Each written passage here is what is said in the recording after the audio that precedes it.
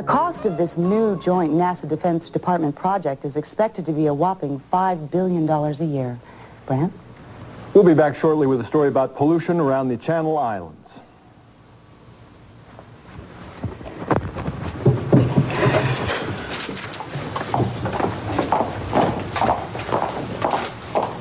Here you go. Oh, thanks. Uh, Robert. I'm sorry. Hey, you kept your word. You didn't reveal my connection to Griffin. You just let your cohort do it for you. I had no idea that Brant was going to bring up what he did. I had no idea he even knew about San Sebastian.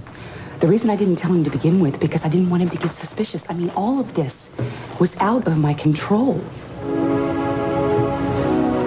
Look, I have never, you know, considered myself to be a, a particularly honorable man, but there is one part of my life where I do feel I have behaved honorably, and that is with you.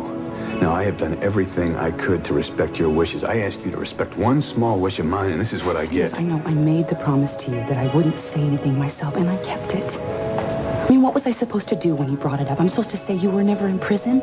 Lying would have only made it worse. Maybe you ought to be a little more careful about making promises you can't keep. Robert, I didn't mean to hurt you. You know, they're going to have a field day dredging up my prison record and everything else about my life, including your part Well, in it. I don't care about that. Eden, we're back. Thanks, Amy. Look, I apologize, and I'll try to keep him off your back. Well, the damage has been done, but thanks anyway. Got a minute, Mr. Parisi?